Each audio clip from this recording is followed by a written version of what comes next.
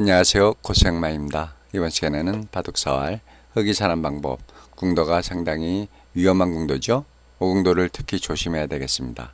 사는 수를 찾아보십시오.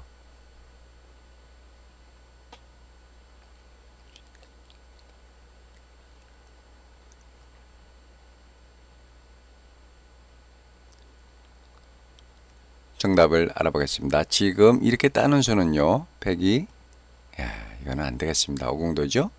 죽었어요. 그렇다고 이쪽에서 두는 수는요. 아, 이거는 100이 어딜 둘까요? 둘 것도 없는데요. 아, 이거는 흑선 흑사네요. 아유, 이거는 망했습니다.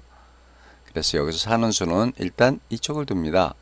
여기 놨을 때 100이 이런 데는 못 두죠. 여기서 두 점 단수 치는 수는 따서 비고를 살게 됩니다. 그래서 여기서 100은 이렇게 나갈 것입니다. 이때 잘해야 돼요.